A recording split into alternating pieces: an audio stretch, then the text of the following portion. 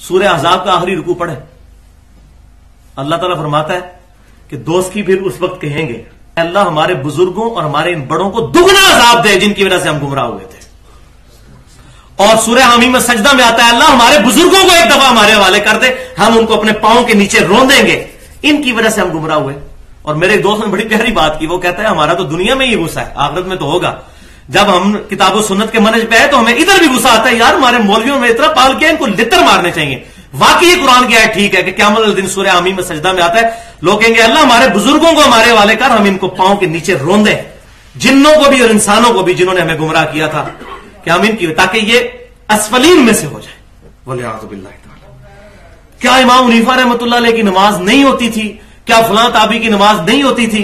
अच्छा इसके भी उसूली जवाब मैंने पाँच तैयार किए छोटे छोटे पहला उसूली जवाब यह है कि भाइयों, कुरान और सुन्नत और सलफ का इजमा यह है मेन चीज़, इसको हमने फॉलो करना है। और कुरान पाक में भी यही हुक्म है फ़िन तनाजा तुम फ़ी इन फरुद्दू रसूल, इन कुम तुम मिनूना बिल्लाही वल यौमिल आखिर।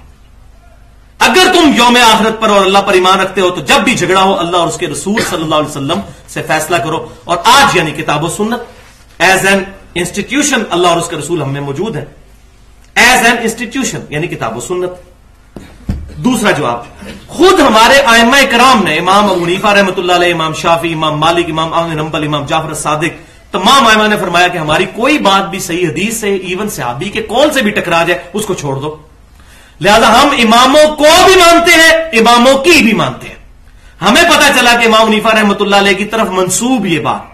अब उसकी भी कोई सनद नहीं है। क्योंकि इमाम शाफी की किताब भी है, इमाम नंबल की किताब भी दुनिया में है, इमाम मालिक की किताब भी मौजूद है, इमाम उनीफा की अपनी किताब कोई मौजूद नहीं, वरना हम देखते तो उस पर बल इनडायरेक्टली जो पता चलता है तो हमने उन्हीं की बात पर, इमाम उनीफा रहमत की बात पर अमल किया कि हमें इतनी सही हदीस मिली, हमने उनका कॉल छोड़ दिया, अगर है कहीं पर।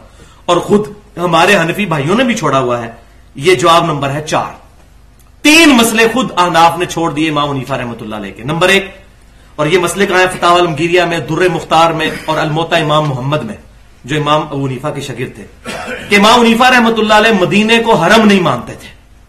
लेकिन अल्हम्दुलिल्लाह आज तमाम अहनाफ मदीने को हरम मानते हैं। बुखारी और मुस्लिम में पचास हदीसें हैं फजाइल मदीना पे और उसके हरम होने पर। दूसरा मसला, शवाल के छह रोजों को वो बिदात कहते थे। और ये खाली इमाम मुनीफा नहीं है, इमाम मालिक भी, अलमोता इमाम मालिक में लिखते हैं कि मैंने अहले मदीना में से किसी को ये रोज़े रखते हुए नहीं देखा। उनसे भी बात छुपी रहेगी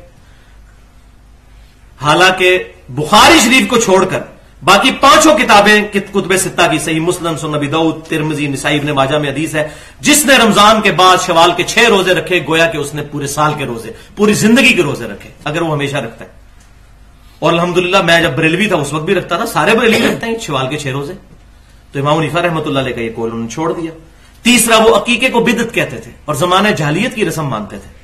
लेकिन अल्हम्दुलिल्लाह बरेलवी हो, देवबंदी हो अलदीस हो, आज सब अकीका करते हैं। बुखारी में पूरा चैप्टर किताबुल अकीका के बारे में जहाँ मैं तिरमजी में सोनबी दाऊद में। मैंने डिटेल के साथ कुर्बानी वाले लेक्चर में बताया।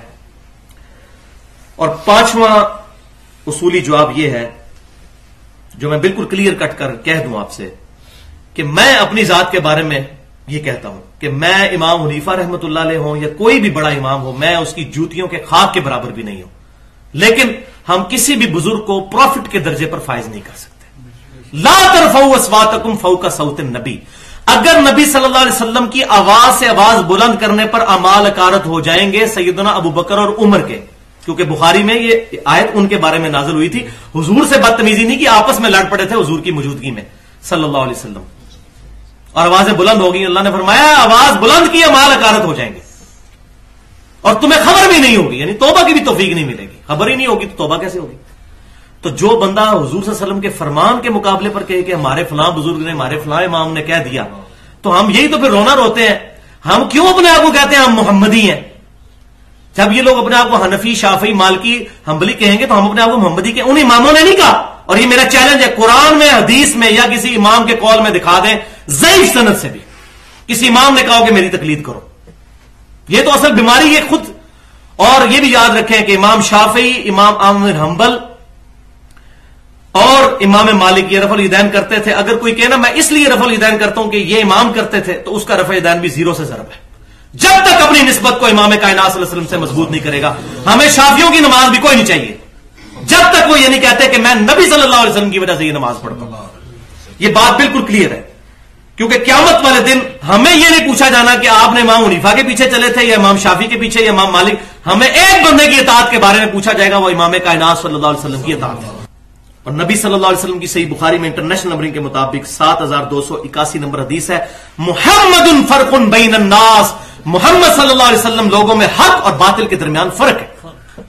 फ़र्क कुरान भी अल फुरकान, नबी वसल्लम भी अल फुरकान, अल्हम्दुलिल्लाह। तो भाइयों